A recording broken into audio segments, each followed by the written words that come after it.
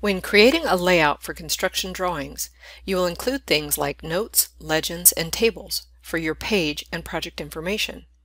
In this video, I'll show you how to create and edit a layout page table and a revision table.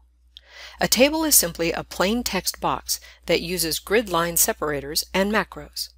Chief Architect has provided automatic tables for these two functions. Here on page 1, my title page, I want to add a table of contents for all of my construction drawing pages. I only want the table to display on the first page, so I don't want to put it on page 0, which is my default page template.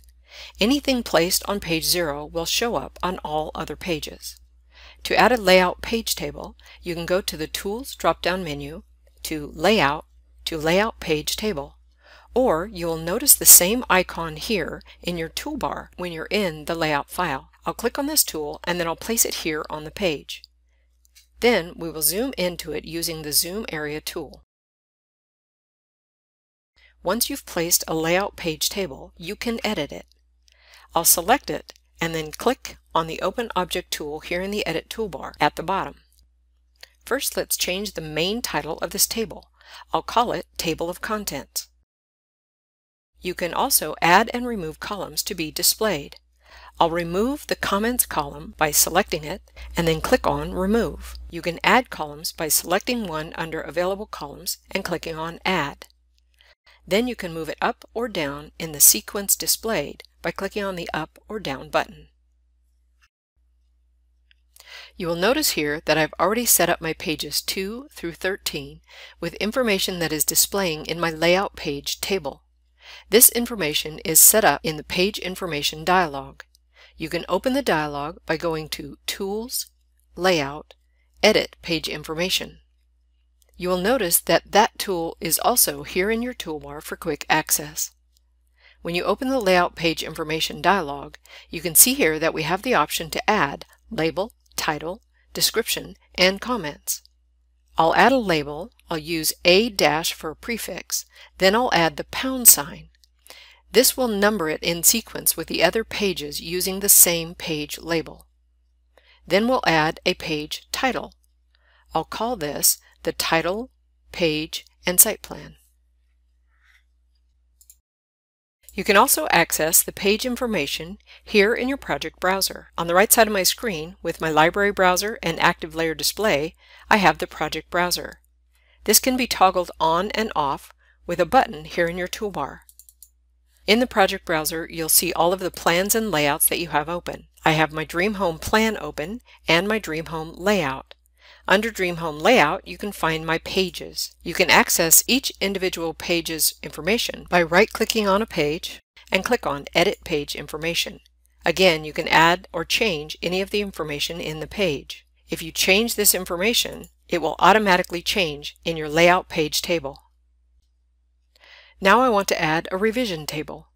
A revision table is used in construction drawings to record the dates of revisions made to the plans. When you print and distribute plans for permits, bids, or construction, you can ensure that all of the recipients of the plans have the most current printed version. I want to add a revision table here in my title block, but I want the revision table to display on all of my pages, so I will place it on the default page template, page 0. You can find the revision table under Tools, Layout, and Layout Revision Table. Again, you can find the same tool in your toolbar here. I'll place a table, then I'll zoom in to edit it. I'm going to rotate it 90 degrees, then move it into place using the point-to-point -point move tool. Then we'll stretch it out to fit the CAD box.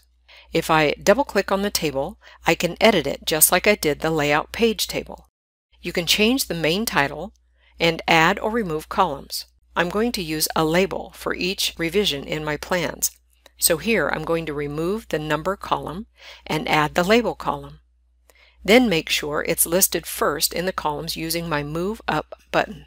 Now we can add revisions as we make progress on our construction drawings. As you can see, the revision table placed on page 0 is displayed here on page 1 and all of the other pages. Now let's add a revision to the list. Each revision added is specific to the page you add it to. Like the Layout Page table, this table is getting its information from the Page Information dialog. Here in the project browser, I'll right-click on Page 1 and click on Edit Page Information.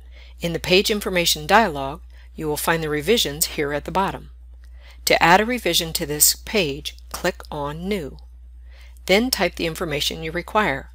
This will be labeled as number 1. You can change the date, add your initials, and a description. When I click OK, you can see that the added revision is displayed here in the revision table. But note that the revision is page specific. It will not display on any other pages. You will add revisions to each page that it applies to. Now let's add a revision bubble and callout. One thing I like to do is to show the callout symbol with the revision table so that the reference is clear.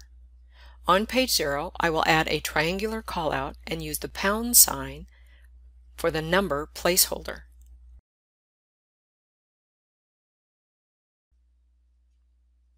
Then I'll go to page 1 and add a revision cloud and callout. Let's say that my plan check corrections required an additional dimension here. I'll zoom in and then I'll use the Cloud tool. Click and drag a box to create a revision cloud and then add a callout that references our label in the revision table. I'll go to the Text Tool Parent tool and then to the Callout tool. Place a callout here, change it to a triangle, and change the label to number 1. Now our revision cloud references the label in the revision table.